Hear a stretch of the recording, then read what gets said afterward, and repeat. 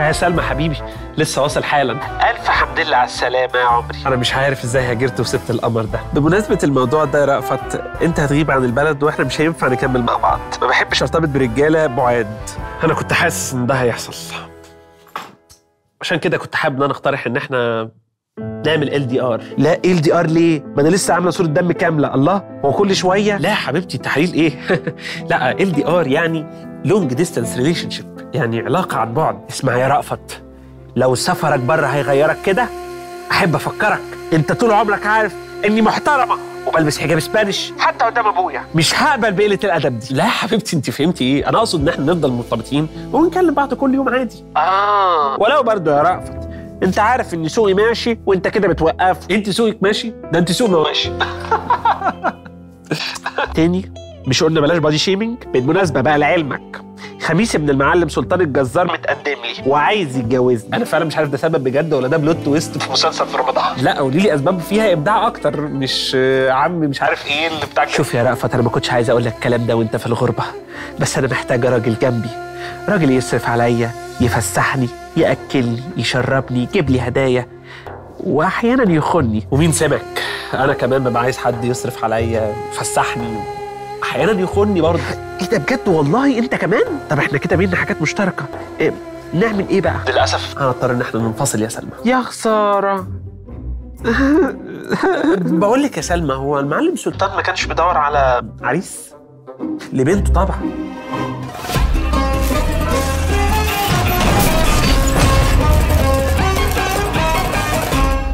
أعزائي المشاهدين السلام عليكم ورحمة الله وبركاته. أهلا بكم في حلقة جديدة من برنامج الدحيح. الإيه؟ الدحيح. دي عزيزي النسخة الرومانسية مني. الله لا يوريكي. أنا لما بحب بقى يوهو، بحب عن بعد. منذ زمن بعيد كان الرجال يسافرون وراء البحار والنساء ينتظرن عودتهم واقفين على أرصفة الموانئ يمعن النظر للأفق بحثا عن باخرة صغيرة. وها أنا ذا اليوم أنتظر هنري. إيه ده حميد؟ أنت كنت مرتبط في أرسنال ولا إيه؟ تمر كل دقيقة كأنها سنة كأن لا نهاية لها. تمر كل دقيقة بطيئة وشفافة مثل الزجاج. أرى من خلالها دقائق لا حصر لها. تصطف وراء بعضها منتظرة. لماذا ذهب إلى حيث لا أستطيع مرافقته؟ ده يا عزيزي كان وصف الكاتبة أودري نيفينجر على لسان بطلة روايتها The Time Traveler's Wife زوجة المسافر عبر الزمن. بتحكي يا عزيزي البطلة عن علاقتها بجوزها هنري اللي بيعاني من خلل جيني بيخليه يسافر عبر الزمن بشكل عشوائي بيمشي فجأة ما تعرفش راجع إمتى وهي اللي مسؤولة إنها تدير علاقتهم عن بعد. لو فكرت يا عزيزي هتجد إن هذا الكلام مش غريب شبه علاقات ال long distance بتاعتنا. بس في حالة بطلة الرواية فالمسافة كانت بالزمان وليس بالمكان. لما اتنين مرتبطين يكونوا منفصلين جغرافيا ما بيشوفوش بعض طول الوقت. العلاقات دي بتكون ظروفها مختلفة عن العلاقات القريبة وبتوريك قد إيه الإنسان المعاصر ده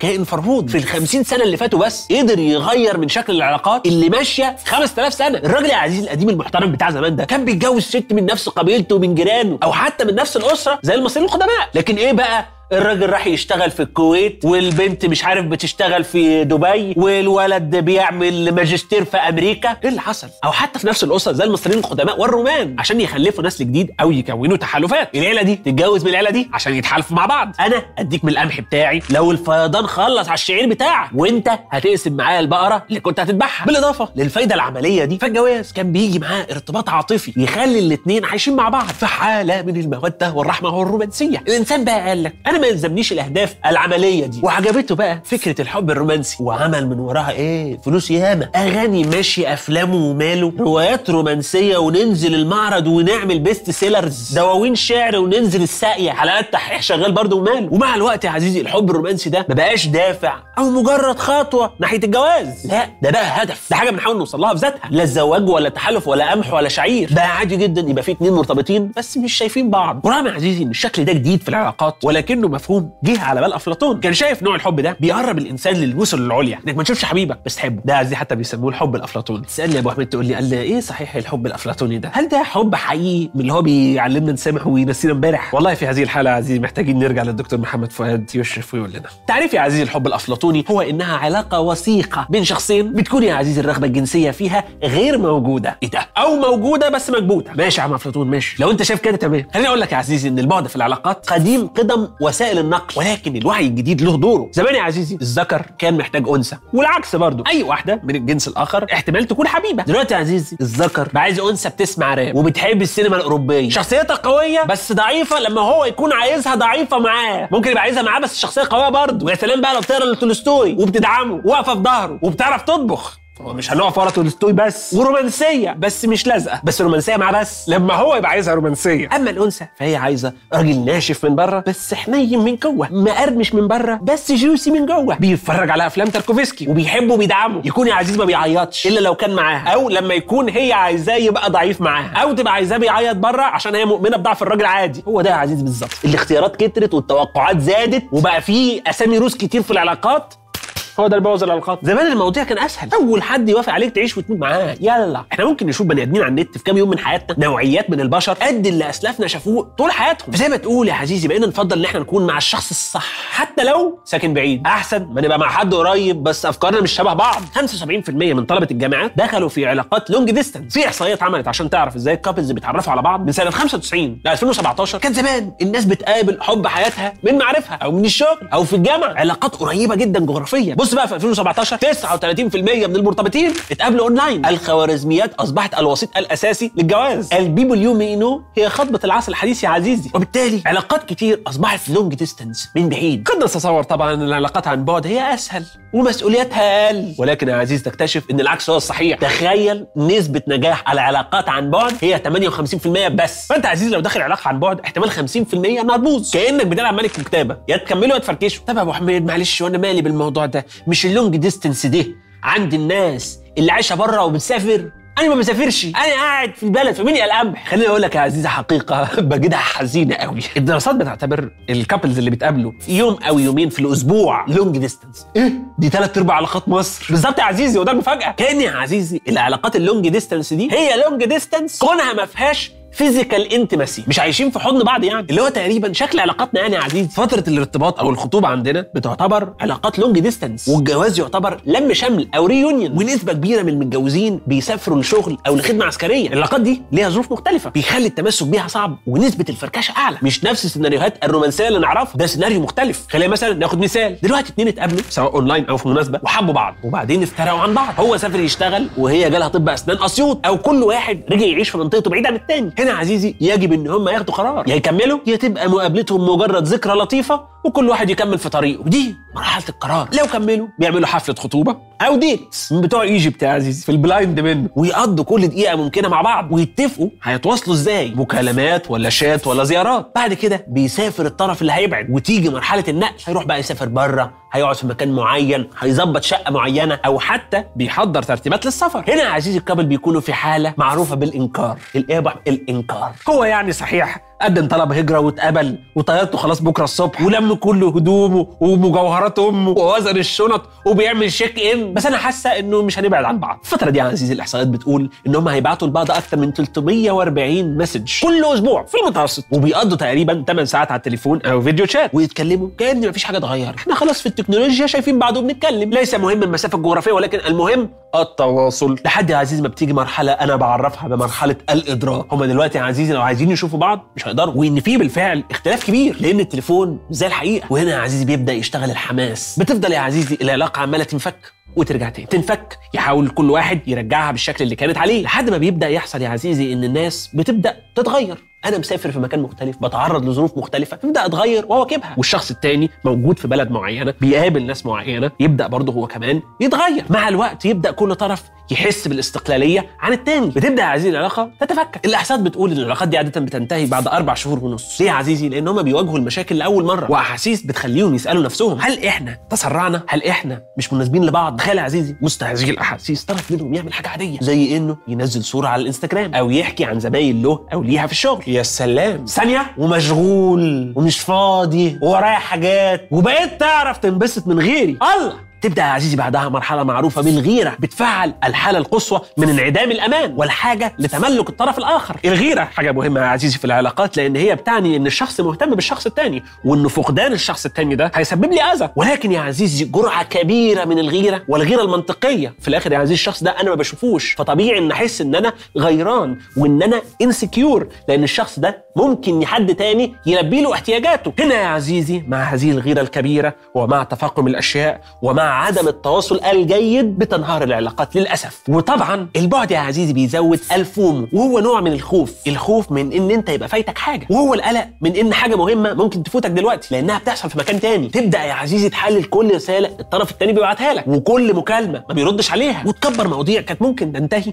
برؤية الطرف الآخر والتعامل معاه في ارض الواقع باحثين يا عزيزي وجدوا إن في العلاقات ال long distance المرتبطين بيتواصلوا على النت أكتر. ولكن وجود مقابلة face to face بشكل دوري هي عامل حاسم بين الطرفين يحسوا بالرضا والالتزام ويستعيدوا ثقتهم في بعض. لما حد يا عزيزي يبص في عينك ويقول لك كلام غير ما بعته لك على ال message البعد كمان يا عزيزي بيقلل مستويات الرضا ويستعيدوا ثقتهم في بعض والعكس كان بيحصل. البعد يا عزيزي للأسف بيولد مستوى أقل من الأمان والثقة. البعد بيولد التوتر فسهل إن أنت تشوف سوء تفاهم وخناقات والطرفين يتضايقوا من بعض بسهولة ويتجادلوا في حاجات تافهة والقلق يبني لهم سيناريوهات خيالية تجرحهم. مش كده يا عزيزي إن القلق عدو العلاقات السعيدة. لحظات الصمت اللي في المكالمة اللي هي المفروض تبقى حاجة عادية. إحنا بنقعد مع بعض عادي وبنبقى ساكتين. عادي. لكن هذه اللحظات في هذه المكالمة في العلاقات البعيدة ممكن تدخل طرف منهم في نوبة قلق. هل ما عادش في خلاص مواضيع بينا؟ هل انتهت المواضيع؟ هل ما فيش حاجة نتكلم فيها؟ هل اهتماماتنا اتغيرت؟ خليني أقول لك على حاجة يا عزيزي في ال long distance ال long distance هي نوع من العلاقات اللي بتحملك مسؤوليات العلاقات من غير ما تديك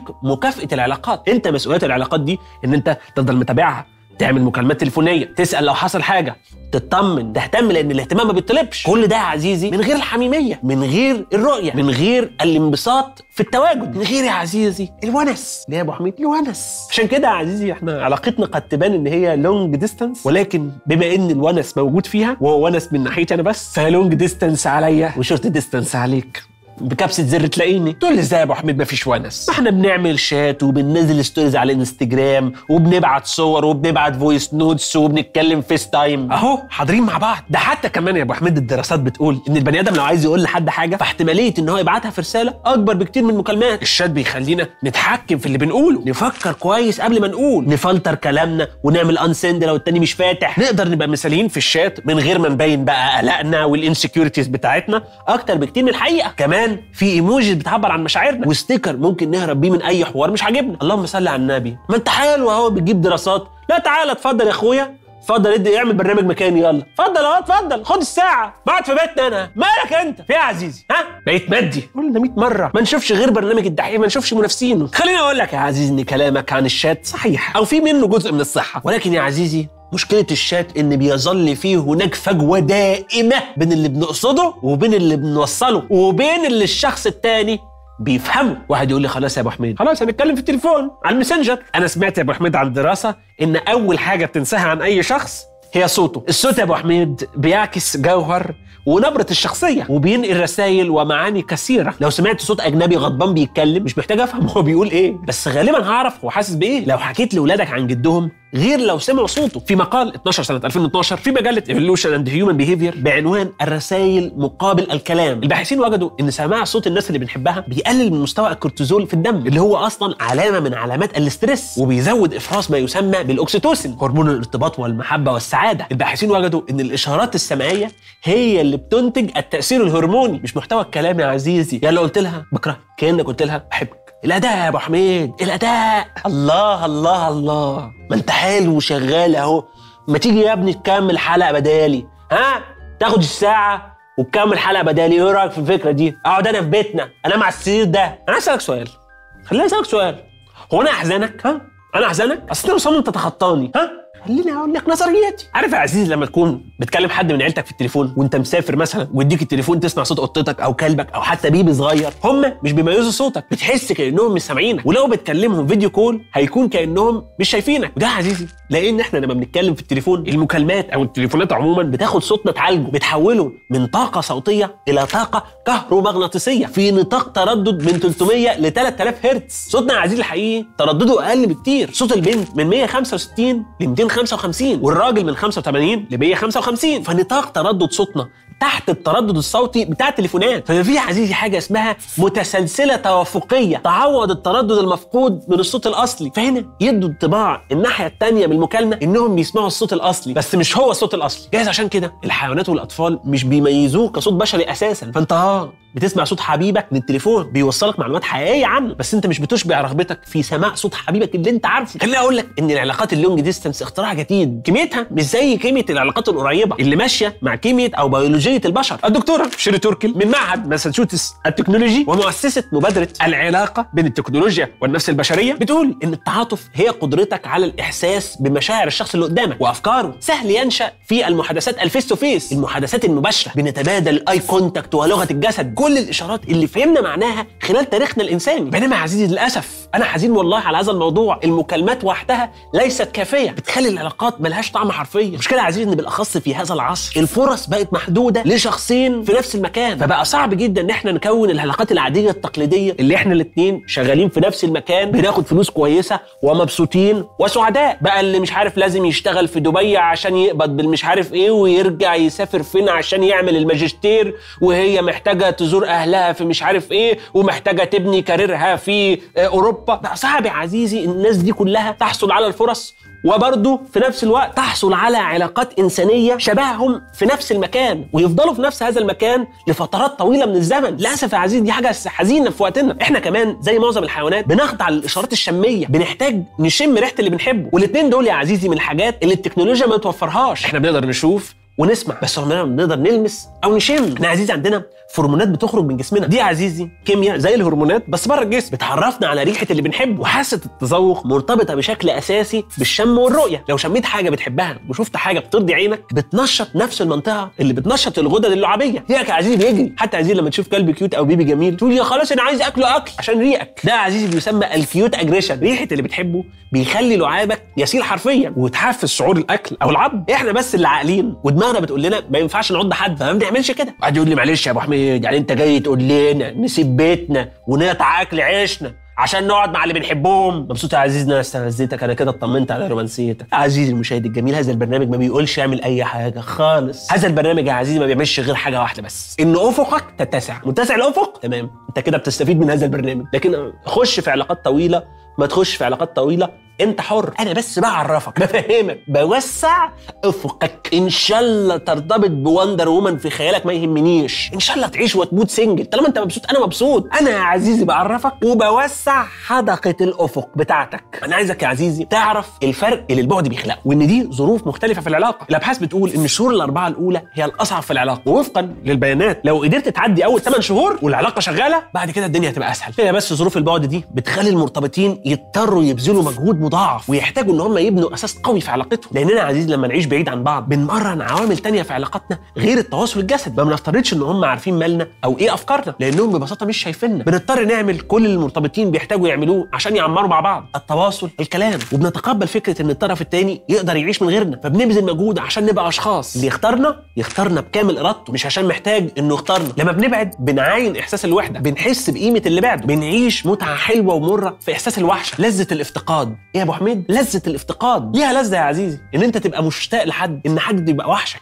ليها لذة. وبنفرح لما بعد الشوق والفقدان ده يحصل لم للشمل بوجود قصص كتير نشاركها لما نتقابل.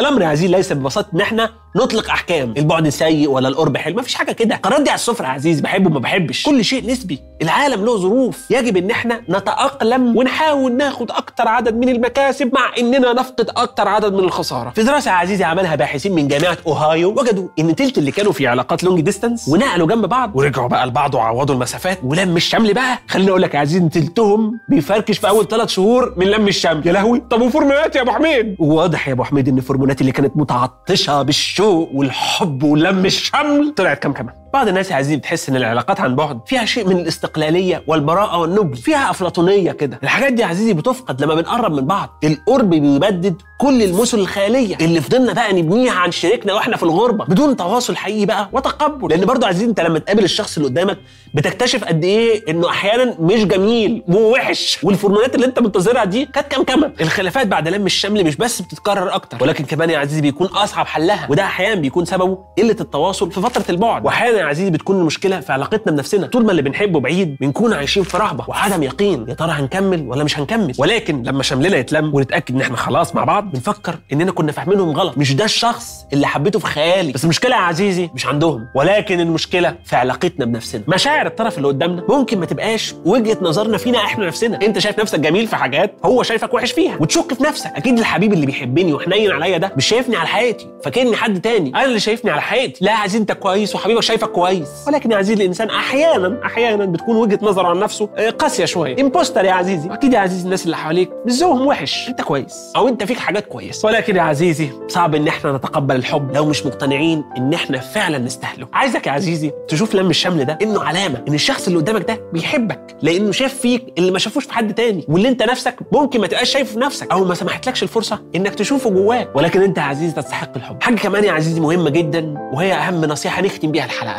إن إحنا محتاجين نثق في اللي بيحبونا أكتر. في الآخر يا عزيزي حابب إن أنا أقول لك إني بحبك. طب أنت نص أنت بتحبني عشان بتدوس سبسكرايب اظهر على حياتك لا يا عزيزي والله لا والله لا. لا لا لا. بحبك عشان بيشوف الحلقات اللي فاتت؟ بيشوف الحلقات اللي جاية بتنزل تبص على المصادر وبتشترك على اليوتيوب برضه. شوف أسباب وليس سبب وحيد. لا خد بالك. بقول لك يا عزيزي ما تيجي نلم الشمل خليني يا عزيزي أنقل لك راي آه، الصديق محمد خميس في ال long distance relationships لما وصفها قائلا حكمته مهما كانت إمكانيات موبايلي عالية وجميلة مستحيل في حب تليفون. أنا عزيزي لما بتكلم مع حبيبتي في التليفون أنا مش بتكلم مع حبيبتي أنا بتكلم مع التليفون أنا بتكلم مع التليفون أنا بصاحب التليفون. أحب ان أقول يا أنا أيضا ليا موقف واضح من علاقات ال long distance أنا ضدها تماما مش عشان كل اللي قلناه بس عشان بتخلص الباقة. وأنا حاسس إن في حاجات أهم نخلص الباقة بتاعتنا عليها.